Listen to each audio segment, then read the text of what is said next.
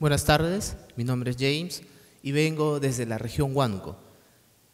Hoy vengo eh, con un objetivo de lograr que ustedes, jóvenes, señores, representantes de agencias de viaje, funcionarios públicos, puedan identificar a la cordillera Huayhuash como uno de los mejores destinos turísticos que tiene nuestro país.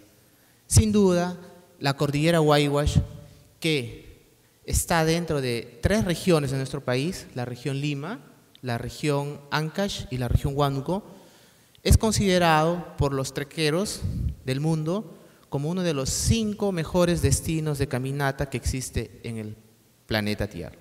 Y está en nuestro país. Y esto es un motivo de orgullo y un motivo para que nosotros como peruanos podamos sentirnos orgullosos y podamos motivarnos a conocer este importante atractivo turístico que está en nuestro país. Yo les he traído una presentación bastante resumida de lo que es Whitewash, porque en realidad eh, el tiempo es corto, pero estoy seguro que después de esta, de esta presentación ustedes van a querer agarrar las mochilas y van a querer ir a recorrer Whitewash, porque yo he recorrido Whitewash, así, con este físico que tengo un poco gordito, pero he hecho Whitewash, he recorrido, he estado allá, hemos estado un año en Whitewash capacitando a jóvenes en nuestra cordillera, en el lado de la región Huánuco, hemos capacitado a través de Operación Mato Grosso, del de, eh, señor Giancarlo Sardini. Estuvimos un año ya capacitando y formando jóvenes que están dispuestos a recibirlos a ustedes. Son 30 jóvenes que han estudiado para ser ayudantes de porteadores, para ser ayudantes de cocina y para ser auxiliares de montaña.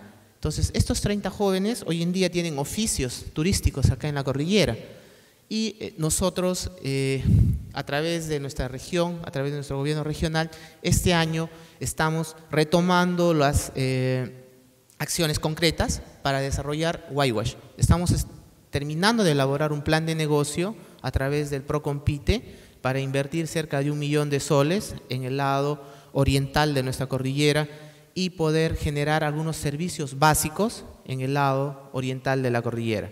Entonces, Definitivamente el desarrollo del turismo tiene que ir ligado a lo que es la conservación y estos proyectos también buscan lo que es la reforestación y la conservación de especies nativas de flora que existen en nuestra cordillera. Bien, ven ahí una, una toma de fotográfica, es de una de las excursiones que se hizo hace algún tiempo allá, hacia Waiwash, y algunos de estos jóvenes que se les ve por la parte de atrás son hoy en día jóvenes que brindan servicios en la cordillera, servicios turísticos. Bien, Huánuco está a una altitud de 1984 metros sobre el nivel del mar. Es una altitud bastante benéfica para que las personas que deciden hacer eh, trekking en Huayhuash se puedan aclimatar. Lo recomendable es quedarse un día en Huánuco, un día, dos días, recorriendo parte de los atractivos en Huánuco y ustedes puedan aclimatarse. Porque después de estos 1984 metros sobre el nivel del mar, ustedes van a ascender aproximadamente entre 4.800 a 5.000 metros, que es la, altitud en donde se realiza trekking, en donde se puede hacer caminata por la base de la cordillera Huayhuash. Lógicamente, hay algunos que querrán hacer escalada en los nevados, pero eh, para ello se requiere un poco más de preparación física y técnica. Lo recomendable por ahora es que si es que no son especialistas en, en andinismo, en escalada, solo hagamos la parte de caminata. Entonces, eh, la distancia que está Huánuco de Lima son 410 kilómetros y hay dos formas de llegar. Una es vía terrestre, por la carretera central, nos toma nueve horas de desplazarnos hacia Huánuco. Eh, tenemos buses que son muy cómodos, 180 grados, hay para todos los gustos, desde 30 soles hasta 120 soles, para que ustedes puedan escoger y puedan llegar a Huánuco. Nueve horas de viaje. Y seis horas de viaje de Lima a Huánuco vía la carretera eh, Lima, Canta, Guayay, Huánuco. Y el paso por esta carretera es eh, surcando la cordillera La Viuda. Ya nos subimos hasta Ticlio y hacemos seis horas de viaje en una carretera asfaltada doble vía.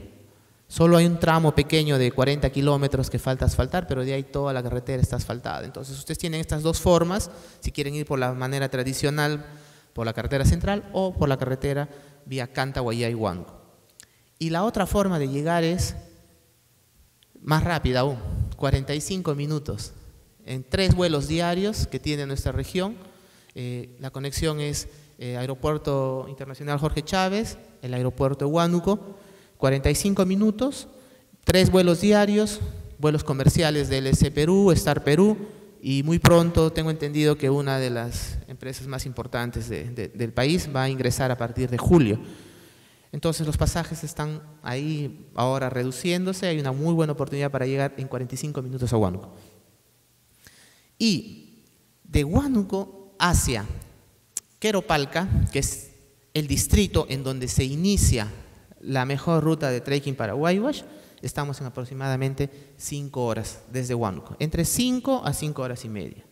Entonces, fíjense, esa proximidad es muy importante para que nosotros como peruanos podamos ir a conocer este importante destino que otras personas del mundo cruzan océanos enteros para ir a hacer caminatas de, de 4, 5, 10, 14, 16 días, la vuelta completa al Waiwash, dependiendo de la, de capacidad física también que se pueda tener.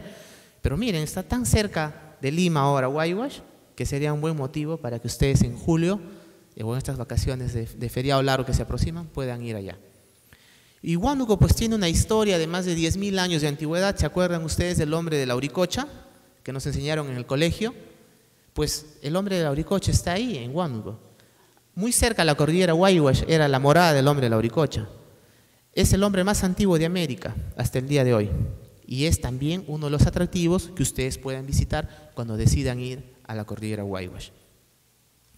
La geografía, lo decía el expositor que me antecedió, pues la cordillera Huayhuash tiene dentro de sus nevados el nevado del Yerupajá, que está a 6.634 metros sobre el nivel del mar. Es el segundo nevado más alto del Perú y está en esa cordillera. Entonces, este, este nombre, el Yerupajá, eh, ha dado también eh, nombre a una cultura muy antigua de nuestra región, los yaros, ¿no? y de ahí se hubo un poco de, ya de desviación de los vocablos, pero en esta zona de la parte oriental de la cordillera Huayhuash hay una cultura muy importante que ha florecido desde hace más o menos del año 1200, cerca al 1500 más o menos, que eh, dejó vestigios arqueológicos muy importantes que ustedes pueden conocer y descubrirlos. Por ejemplo, por citar un nombre, ¿han escuchado hablar de Piruro? ¿Ustedes? Yo escucho, veo algunas caritas que me dicen que sí. Pues Piruro es un centro arqueológico pre-inca que tiene cinco pisos de construcción. Son considerados los rascacielos de América. No existe en América, en toda América, una construcción de más con estas características, que tengan cinco niveles de construcción fue construido mucho antes que los incas.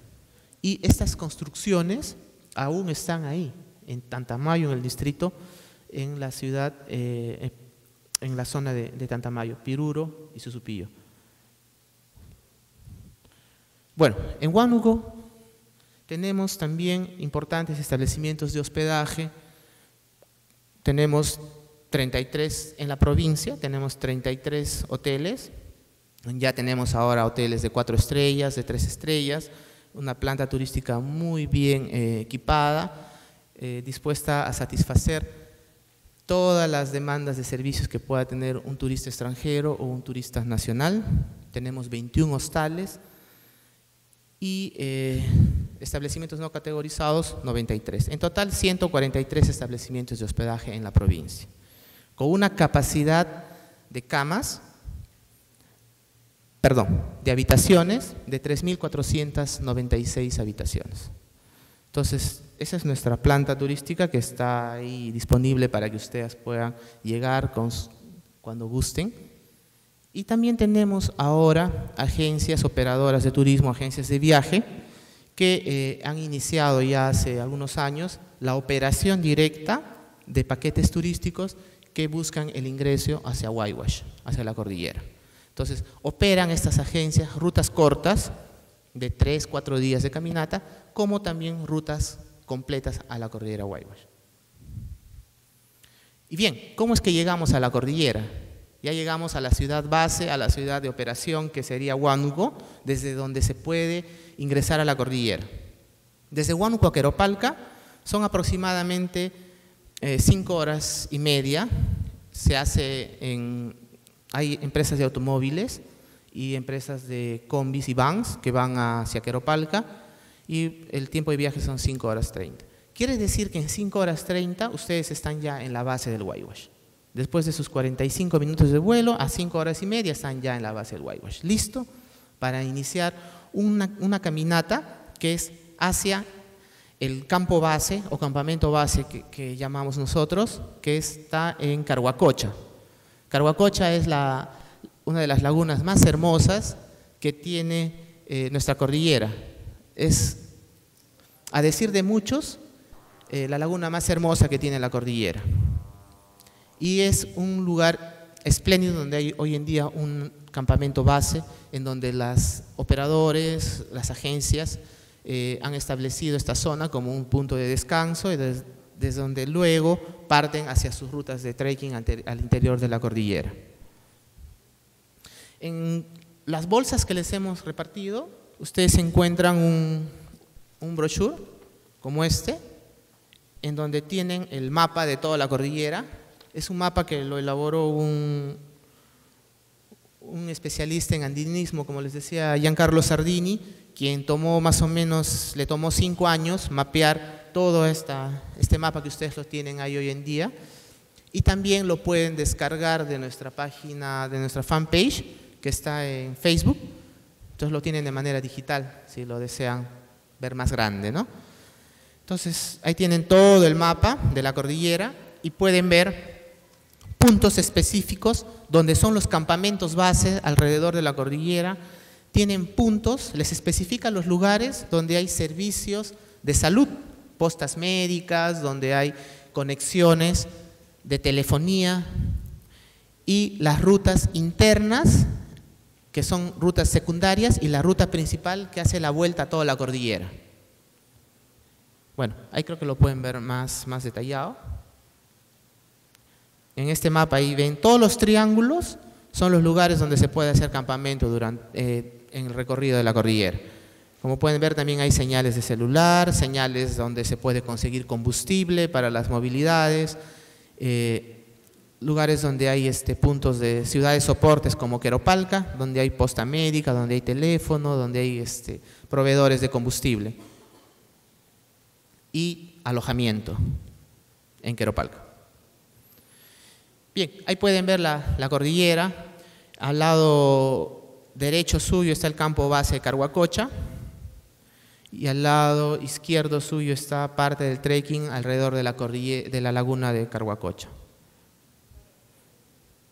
Ahí está el paso Ciulá, del cual nos hablaba el expositor que me antecedió, y efectivamente eh, hay una película que se llama Tocando el Vacío, que sería bueno que ustedes la puedan ver, que es una película muy hermosa y también un poco triste por el, por el final, ¿no?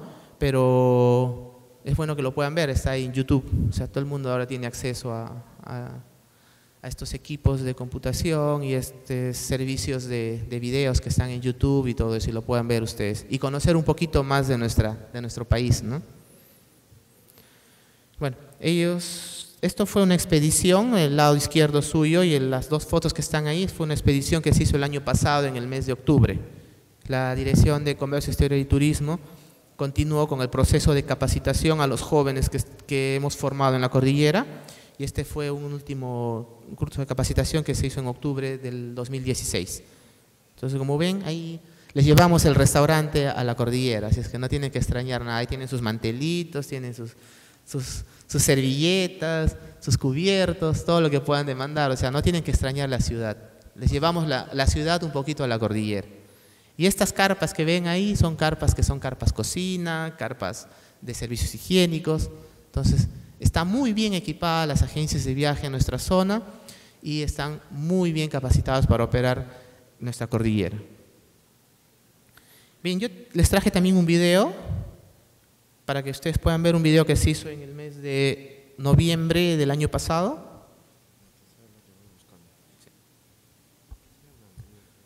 Bien. Eh, ¿Cuántos de ustedes son operadores de turismo, alguna agencia de viaje? ¿Pueden levantar la mano, por favor? Ah, buen número, sí. ¿Y estudiantes de turismo? Casi 50-50. Entonces, eh, yo les decía pues que en verdad ya no es complicado ir a Waiwash. ¿Sí? En seis horas prácticamente estamos en la base de la cordillera y conociendo uno de los principales atractivos turísticos que tiene el planeta Tierra y está en el Perú. ¿no? Entonces nosotros como gobierno regional les mencionaba que venimos trabajando un plan de negocio para desarrollar turismo rural comunitario en Waiwash y a partir de agosto empieza su ejecución. Entonces van a encontrar mucho más servicios de orientación y servicios que puedan satisfacer la visita de todas las personas que se animen a ir y también dotar de valor agregado a nuestra cordillera para que los operadores de turismo puedan estar convencidos de que el ingreso a Guaywash por Huánuco les reduce costos, les reduce tiempo y les, y les da mayor competitividad a ustedes como operadores, que es lo que imagino cada uno de ustedes piensa alcanzar, ¿no? Tener mayores márgenes de utilidad, ¿en base a qué? Ahorrar tiempo. Entonces, vamos a hacer un press tour con PromPerú. Quiero agradecer eso a PromPerú porque PromPerú también ha, decidido, lo ha tomado como, como parte de sus retos importantes para este año, empezar a impulsar lo que es la cordillera Waiwash. Vamos a hacer un viaje de familiarización con prensa y un fan trip con agencias de viaje a la cordillera Waiwash, ingresando por la región Huánuco, para que ustedes puedan corroborar todo lo que yo les digo hoy día. Todo lo que yo les digo lo van a poder corroborar en este viaje de Press Tour y Fan Press hacia la cordillera Waiwash por Huánuco.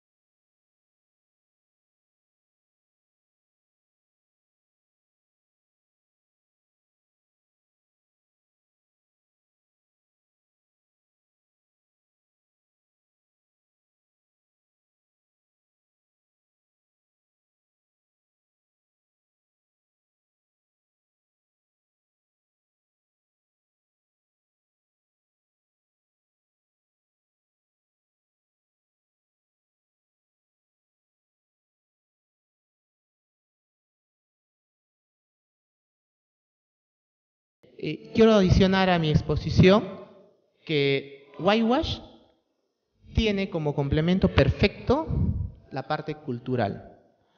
Si bien es cierto, Whitewash es un atractivo de carácter natural, no nos olvidemos que el gran camino inca, el Capacñán, se encuentra a escasos kilómetros de la cordillera Whitewash. Es más, hay un ramal del camino inca que ingresa hacia la cordillera hacia una, a la laguna de la Oricocha y quiero también compartir con ustedes que si son amantes de la parte natural y la parte cultural, el camino inca que está cerca a la cordillera, ubicado en Huanucopampa, que fue la capital del Chincha y Suyo, ¿se acuerdan de los cuatro suyos del imperio inca?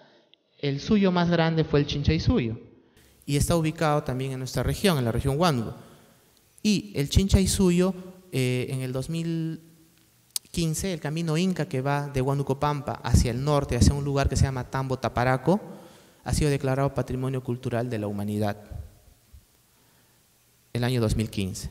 Entonces, ustedes tienen una combinación perfecta acá para ir a Waiwash y luego hacer un trekking de dos o tres días por camino Inca. Este camino Inca que está siendo administrado hoy en día por el proyecto Capacñán del Ministerio de Cultura y que ya ha iniciado algunos trabajos de puesta en valor, recuperación y uso turístico de este camino Inca. Entonces, señores operadores, tienen allá eh, en nuestra región dos importantes atractivos que hace único a nuestra región y seguramente los hace interesante para ustedes, mezclar un patrimonio cultural de la humanidad como es Camino Inca con eh, uno de los principales eh, rutas de trekking del mundo como es Waiwash. Bien, gracias, los esperamos en Huánuco.